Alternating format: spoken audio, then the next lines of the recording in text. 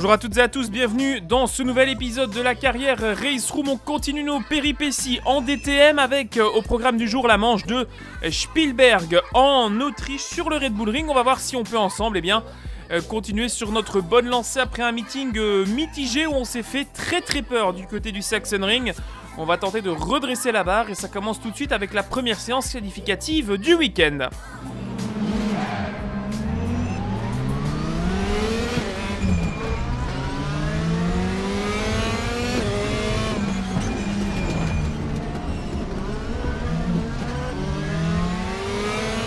On laisse filer la voiture de Tom Blankvist et on va lancer notre première tentative de cette Q1.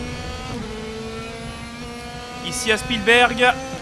Et c'est parti Maintenant Avec un premier freinage très délicat que l'on doit prendre en deuxième. Faut pas hésiter à aller chercher le vibreur. Et là on est parti, on va monter tous les rapports de cette boîte. Jusqu'en sixième. On va aller toucher les freins pour une épingle qui se prend en première. Épingle très très très délicate. Attention à ne pas déraper à la réaccélération. Beaucoup de boss, vous l'entendez à la sortie, avec euh, le son de la voiture qui a du mal, qui peine à trouver le grip. On a une voiture ici au ralenti sur la gauche, c'est celle d'Adrien També. Alors, est-ce que le fils de Patrick va nous laisser passer? Rien n'est moins sûr, ça semble être le cas. L'Audi n'était plus en tour rapide. Devant, ça semble être euh, le contraire pour Tom Blomqvist. On va terminer le deuxième secteur. On va avoir le verdict du chrono dans quelques instants. Attention. Blomqvist qui est bien au ralenti et qui va nous gêner. Ah, c'est dommage. Tom Blomqvist qui nous aura gêné dans notre première tentative.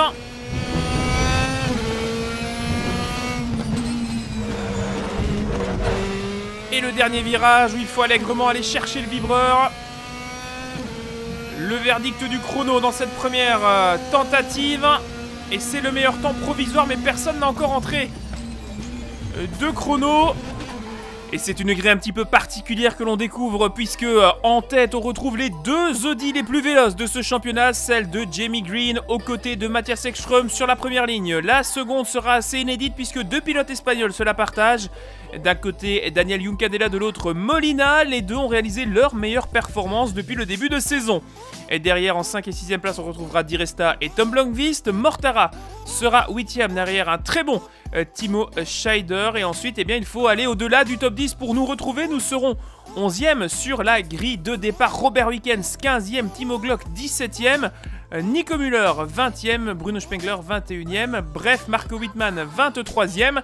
Les leaders sont à la peine dans cette première séance, place donc à la première course de ce week-end.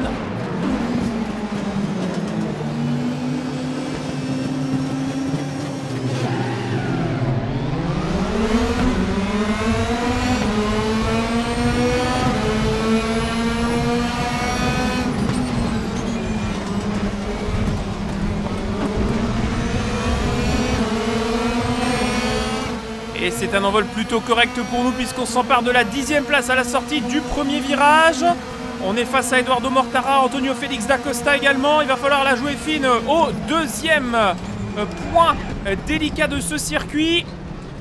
Oh, alors que du côté de Mortara, on ne s'embête pas avec les limites de la piste. D'Acosta résiste. Nous, on est avec Vietoris qui nous a fait l'intérieur. On quitte le top 10, je l'espère de manière plutôt brève euh, dans ce premier tour. Et il nous touche, hein, et il nous touche, hein, euh, Vietoris. Oh, on est en train de faire l'extérieur à Mortara, peut-être, c'est joli. Oh, c'est bien joué d'avoir pu profiter de cette situation. Mortara sur l'extérieur, il résiste, peut-être un peu plus que de, que de raison.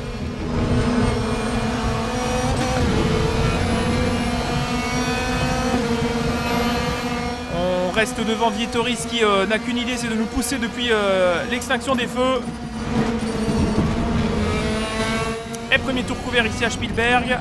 Oh, ça freine beaucoup Ça freine énormément devant et on est obligé d'aller percuter la voiture de Mortara. Et on continue de se toucher, on n'a pas le choix. Alors là, c'était un petit peu cafouillage. On a eu l'indication qu'il y avait une voiture euh, euh, lente avec le drapeau blanc. On a le DRS, on va tenter d'en profiter. 9 position pour le moment. L'attaque devant de l'Audi de Timo Scheider peut-être. De notre côté, on essaie de résister.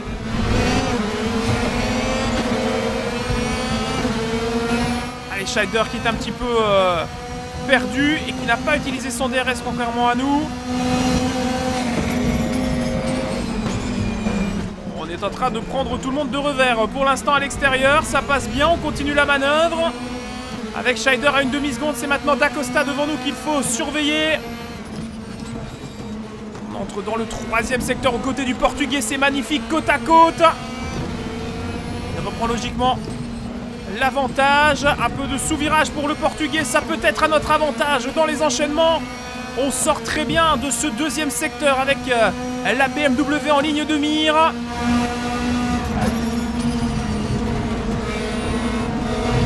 attention Eh ouais, c'est revenu à l'intérieur C'est revenu pour euh, l'Audi de, de Mortara qui repasse Ah, c'est bien joué de Mortara qui, au chausse-pied, reprend la, la 8 place. On a encore le DRS, on va tenter de faire l'extérieur à l'Audi sur les freinages. Toujours très délicat ici à Spielberg. Il est parti loin il est parti très loin, Mortara, on n'a pas pu croiser, mais euh, on ne faiblit pas dans la bataille. Avec le DRS, Mortara sera une formalité, je l'espère, au prochain freinage. Oh, on freine très tard On bloque les roues et on va à l'intérieur euh, faire un petit peu de ménage avec D'Acosta. On ne nous en voudra pas trop. Et D'Acosta 8ème. Allez, on remonte au 7ème rang. C'est du sport de contact, mais on ne leur fait pas de cadeau parce qu'eux non plus ne sont pas très tendres avec nous.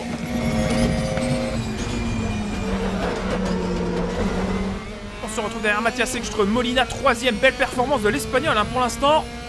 Les Audi sont, sont bien positionnés. Alors qu'on est à la quatrième minute de compétition maintenant. Il en reste moins de 6. Et ne pas perdre ce, ce contact. On n'aura pas, à mon avis, le DRS. Hein. Sur Ekström, ça m'étonnerait qu'on lui reprenne une seconde dans les deux derniers virages, mais on va tout faire pour être au plus proche euh, du Suédois.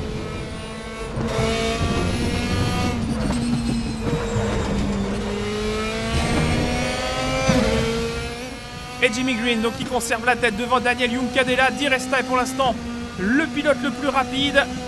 La Mercedes qui est cinquième. La deuxième Mercedes du plateau après Juncadella. Juncadella qui est en train de faire la course de sa saison. Il est deuxième. L'ancien pilote de Formule 3 contre qui on s'est battu l'année dernière, rappelez-vous. Et eh on le retrouve en DTM.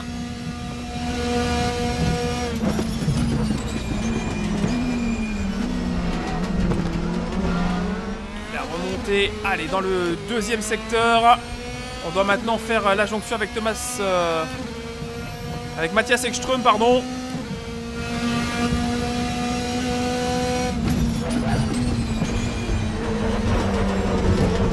L'importance de rester régulier. Allez, une seconde 2, il y a possibilité, si on s'en sort bien dans ce prochain segment du circuit, de retrouver euh, le DRS pour euh, le prochain tour.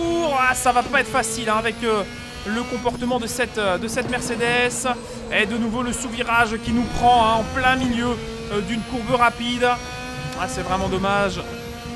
À une seconde 9, on a perdu 7 dixièmes sur cet enchaînement. Si rendez-vous compte, à simplement se, se, faire avoir de la sorte. On va perdre très très gros, je pense, au décompte final. Allez, 2 secondes 4, 2 secondes 4 sur Ekström qui avait le DRS, mais tout de même, à la limite de l'inacceptable, le temps qu'on a perdu. Hop, hop, hop. On est allé au large. Nouveau euh, track limits. Mais bon, on ne gagne pas vraiment de temps, bien du contraire. Regardez, on a encore perdu 3 dixièmes sur euh, Mathias Ekström. Derrière, ça revient très fort en la personne de Dacosta, Mortara et, et Timo Scheider.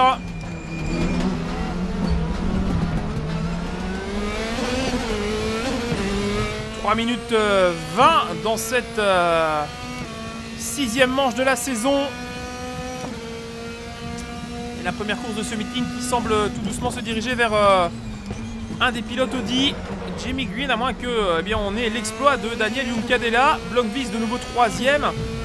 Ce serait bien que notre ami euh, Daniel Juncadella, euh, que l'on a tant euh, battu, combattu même en F3, eh bien, vienne aujourd'hui nous aider au général afin d'empêcher eh bien, une nouvelle prise de 25 points pour, pour Jamie Green qui serait non pas fatal avec notre 7ème place, mais qui serait déjà un, joli coup de fusil hein, de la part du pilote britannique et son, et son Audi. Notre côté, on tente de garder l'église au milieu du village. Oh là là, ça revient très très fort derrière avec euh, Eduardo Mortara à 6 dixièmes. On est en train de se faire larguer complètement par la tête du peloton sans forcément être acculé par euh, les autres pilotes. Mais euh, l'écart autour de nous est en train de, de beaucoup bouger. Et eh bien voilà, si je pouvais prendre à chaque fois ce virage comme ça, ça irait beaucoup mieux. Malheureusement, la voiture ne me le permet pas, en tout cas dans ce premier affrontement. 2 minutes 08, on est dans l'avant-dernier tour je pense.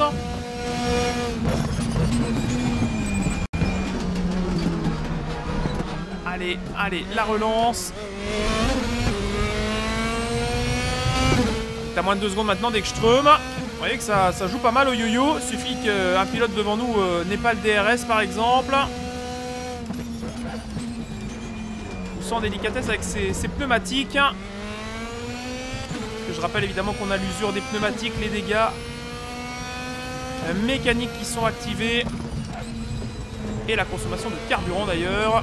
Faudrait que je la rectifie pour la prochaine course. J'ai dû mettre un petit peu trop de galons. Il me reste encore 21 litres dans, dans la bestiole. J'ai été beaucoup trop généreux. 1 minute 19. Alors attention parce que là on a Eduardo Mortara derrière qui va jouer évidemment euh, les euh, bons samaritains et les porteurs d'eau pour euh, Jamie Green en tentant de nous priver d'une position supplémentaire et lui disposera du DRS. Oh, on a failli perdre la voiture. Oh là là, sur le vibreur. C'est une catastrophe cette voiture. J'ai énormément de mal. 2 secondes 8 de retard, c'est terminé. Et on va laisser passer l'Audi. On n'a pas le choix. Ah, c'est vraiment abdiqué pour ne pas risquer de se faire mettre de dehors, tout simplement. C'est le risque.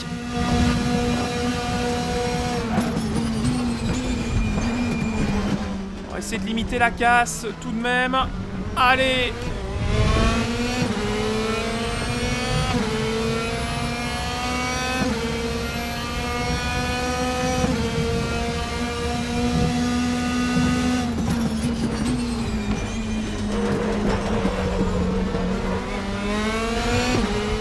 Et vous la voyez comme elle est... Elle bouge sur ses, ses bosses cette voiture.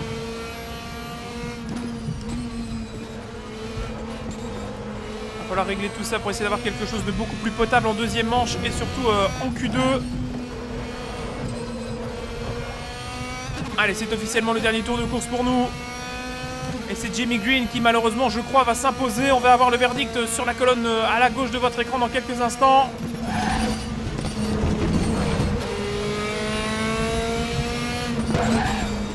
Moins d'un miracle pour Dacosta, il ne nous rattrapera plus. Et oui, victoire de Jamie Green. Et c'est un petit peu une catastrophe. On termine huitième à l'agonie. Eh bien, eh bien, eh bien, eh bien, première course difficile, tout comme lors du week-end précédent, avec euh, donc la victoire de l'Audi de Jamie Green devant Daniel Juncadella et Tom Blankvist. On retrouve trois voitures différentes sur le euh, podium. Il y a également Molina Molina qui termine 4ème, 5ème Diresta, Ekström 6ème, 7ème Mortara. Nous sauvons un peu l'honneur avec notre 8ème position devant Dacosta, Timo Scheider. Et bien voilà pour les résultats de cette euh, épreuve et euh, c'est donc 25 points bien gagnés pour Jamie Green. De notre côté, eh on souffre un petit peu au classement mais c'est pas grave, on en prend 4. Et bien on va tout de suite tenter de rectifier cela avec la deuxième séance qualificative de ce week-end de Spielberg. Et on quitte la pit lane juste derrière Maxime Martin. Et on va voir ce que donne donc cette euh, Mercedes réajustée pour la deuxième course.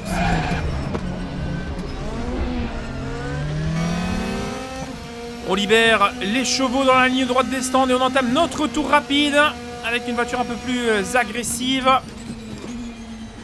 pour cette euh, deuxième séance qualificative. On a été un petit peu plus extrême dans les setups et on verra si ça va se ressentir au chrono.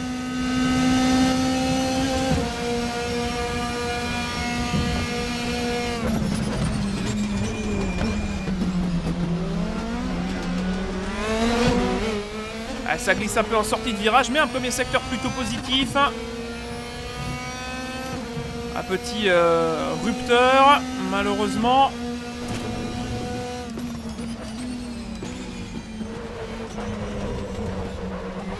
Hop là Attention, Maxime Martin s'écarte. Enfin, il faut le dire vite, hein. Mais euh, le Belge a, soulagé son effort. De l'autre côté, on nous indique qu'il y a un léger manque de carburant. Regardez, on est beaucoup plus incisif dans les S. On devrait euh, se qualifier beaucoup mieux que lors euh, de la première manche on était titulaire d'une bien faible 11e place. Le dernier virage. On relance tout une dernière fois et on va attendre la longue ligne droite, voilà, pour avoir le chrono.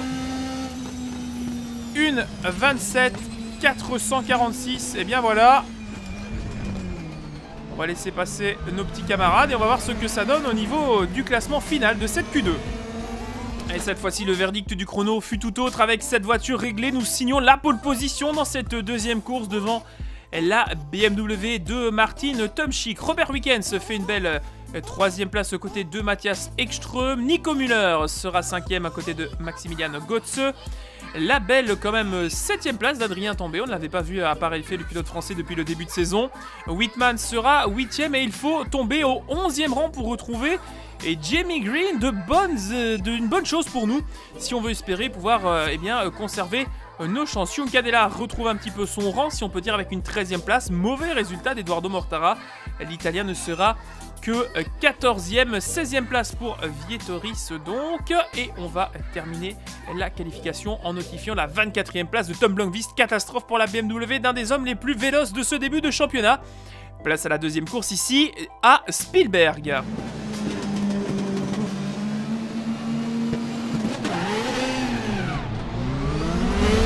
Et on est parti, on a beaucoup ciré au départ, ce qui n'était pas pour aider Robert Wickens. C'est passé pour euh, la voiture de Martin Tomchik, c'est passé également pour Mathias Ekström. On est obligé de nouveau de tirer au large pour euh, ne pas se faire percuter.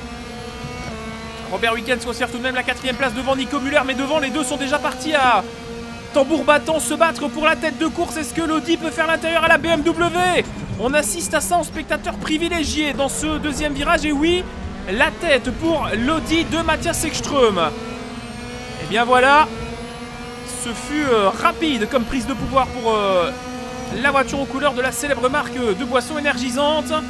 On va arriver dans la descente, peut-être une euh, possible attaque pour... Et non, Tom Chic qui se retrouve déjà largué. Il faut absolument qu'on passe rapidement la BMW si on veut aller chercher l'Audi. Allez, c'est fait. Ah non, c'est pas terminé, il nous touche Et il nous touche une deuxième fois. Et on parvient à se faire respecter, mais euh, il a fallu tenir la voiture dans les euh, enchaînements rapides. Tom Chic qui a tenté de, se frayer un passage à la poussette. Méthode bien connue. En super tourisme. Allez, le premier tour va être couvert avec, euh, eh bien, la tête pour Mathias Ekström. On est deuxième devant Martin Tomchik. Weekends quatrième. Nico Müller complète le top 5. Et c'est une belle sixième place pour le français.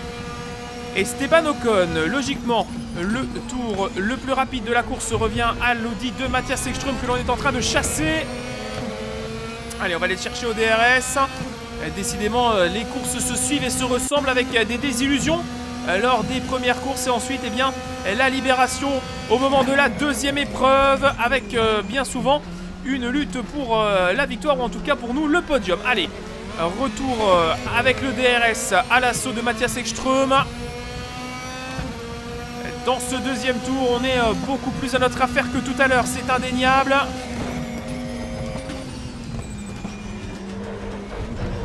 On est un peu plus euh, conquérant sur les vibreurs. On prend un peu la confiance. Tom Chic a une seconde. Ça n'est plus une menace pour l'instant. Oh, et on passe à l'intérieur. Oh, malheureusement, je pense qu'Ekström est toujours là. Ouais, Ekström qui résiste. C'est bien joué. Sur euh, la partie extérieure du virage. On va conserver notre ultime DRS de ce deuxième tour de course pour euh, la ligne droite principale.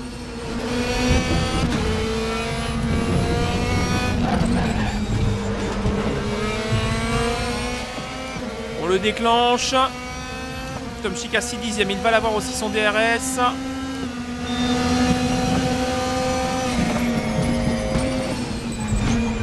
Et on se rapprocher mais pas porter d'attaque.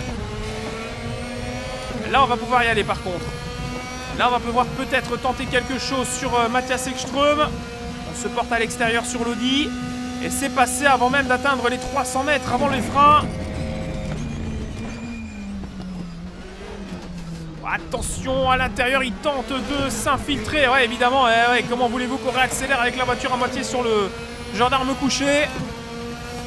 Là, l'IA, je dois m'en méfier parce qu'elle est souvent euh, bien, bien vilaine. Et on va lui montrer qu'on sait aussi nous jouer euh, au pousse-moi, tire-moi.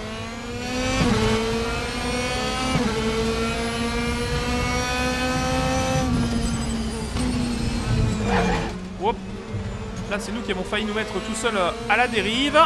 Et retour, évidemment, derrière de Martin Tomchik avec euh, la BMW. Bah oui, à force de se battre, on perd du temps, nous, devant. C'est logique que ça revienne derrière. Pour Tomchik, euh, Weekend, ce n'est pas tout près, tout près.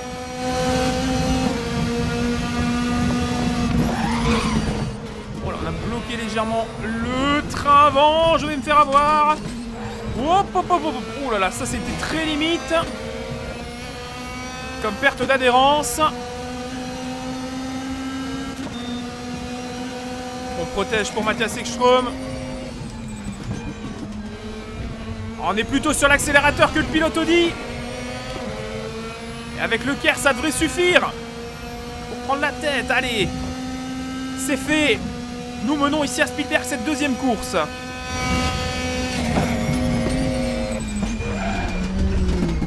Et cette fois-ci, on peut freiner à l'intérieur sans que l'Audi ne revienne. Non, c'est incroyable. C'est incroyable la motricité de cette voiture en, en sortie de virage. On ne peut rien faire. Parce que si je réaccélère plus tôt, je perds la voiture. Je sens que je suis à la limite du grip. Euh, attention il est derrière, toujours Ekström. Moins de 4 minutes 45 maintenant dans cette deuxième course. Oui, ça peut le faire. On reste ma foi très prudent.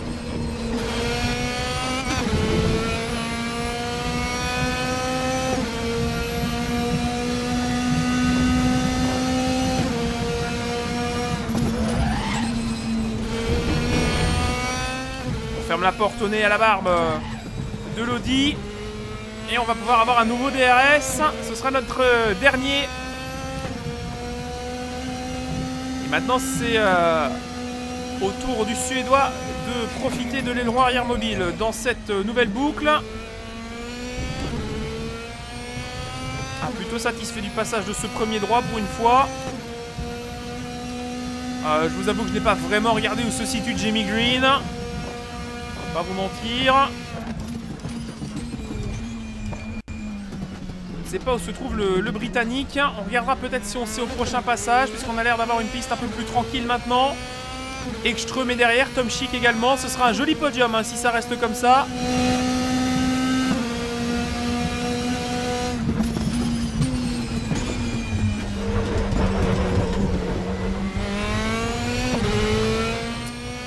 deuxième secteur avec la Mercedes qui... Euh, et euh, c'est indéniable, hein, beaucoup plus à son affaire que tout à l'heure. 3 minutes dans cette deuxième course et euh, l'espoir peut-être d'une victoire histoire de sauver un peu les meubles, hein, toujours face à Jamie Green. Si, hop, s'il ne fait pas mieux que 8 eh bien on aurait repris quelques points. S'il est plus haut que le 8 rang, le pilote britannique, eh bien on aura perdu des plumes dans la bataille, mais ce n'est pas le seul à surveiller. Il y a aussi cet homme dans nos rétroviseurs qui fait pour l'instant de beaux résultats. Mathias Ekström pourrait être l'homme du week-end après avoir euh, réussi de belles choses dans la première course. Ah, les appels de phare de l'Audi qui nous poussent Il nous pousse pour euh, se mettre à l'intérieur, c'est incroyable. Ah, il a le DRS. On se met à la hauteur de l'Audi. Il va quasiment aller nous mettre deux roues dans l'herbe. Ah, c'est dur de résister, c'est dur de résister. Tom Chicken seconde 3, c'est terminé. Il reste deux minutes.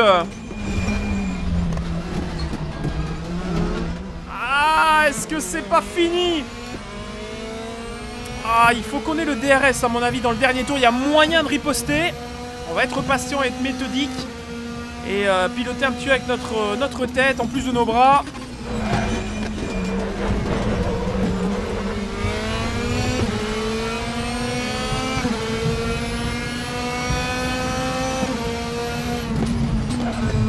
Ouais, allez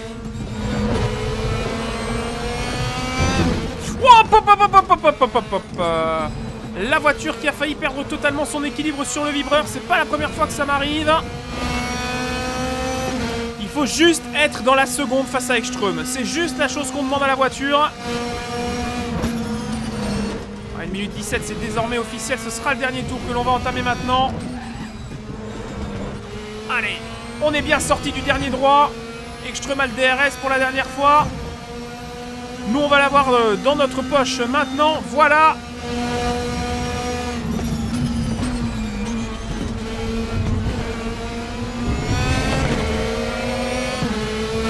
La concentration est maximale pour essayer d'aller chercher l'Audi. On est bien mis, on est très bien mis.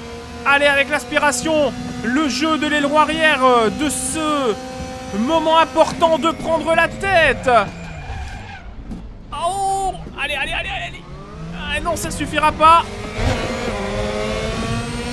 Mais je n'ai pas dit mon dernier mot. Nouvelle attaque au DRS.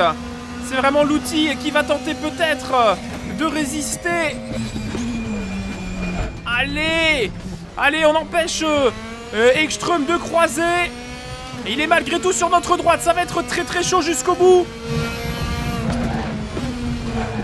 Qu'on l'empêche de se représenter à l'intérieur. On fait bien le travail pour l'instant. On va chercher cette victoire dans moins de 500 mètres. Maintenant, attention, la voiture qui est large, il nous touche. Ekström qui nous percute, on est côte à côte, il va rester deux virages pour aller chercher la victoire. On est bien positionné, on est du bon côté.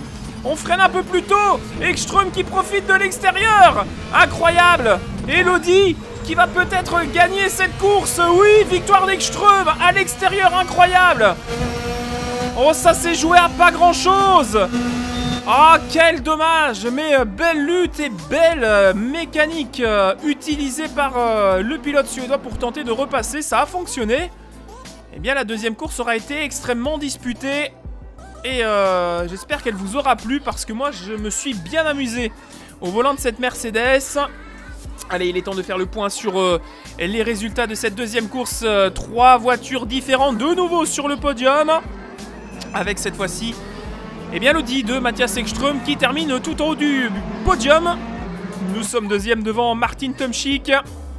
Quatrième place pour euh, Robert Wickens. Et cinquième place, vous le voyez, pour Jamie Green. Le pilote britannique a donc repris eh bien, plusieurs unités sur nous. On fera bien évidemment le classement et le décompte final à l'issue euh, de cette euh, deuxième course. On continue avec donc la belle sixième place d'Esteban Ocon, la septième de Marco 8 man. On notera les mauvais élèves d'Iresta qui n'est que 15e. Euh, Quand même, c'est un petit peu décevant pour euh, le pilote Mercedes. Et euh, ben voilà, Mario Götze 9e, bien joué, il est dans les points. Et Mortara 10e, ce qu'on n'a pas su faire d'ailleurs Adrien També. On conclut avec la 20e place de Tom Blomqvist, bien évidemment. Et en ce qui concerne le classement général, on se retrouve donc en tête pour 5 petites unités devant l'Audi de Jamie Green. Donc après eh bien, deux courses difficiles, on va tout doucement euh, se tourner vers euh, la fin du championnat avec la septième manche qui aura lieu euh, du côté de Zandvoort aux Pays-Bas où on l'espère on pourra conserver notre avantage même si ça risque d'être compliqué sur la piste sinueuse des Pays-Bas. Merci à toutes et à tous d'avoir suivi cette manche. On se retrouve très vite pour vivre de nouvelles aventures et d'ici là, bon amusement en piste. À la prochaine, au revoir. you, you, you, you.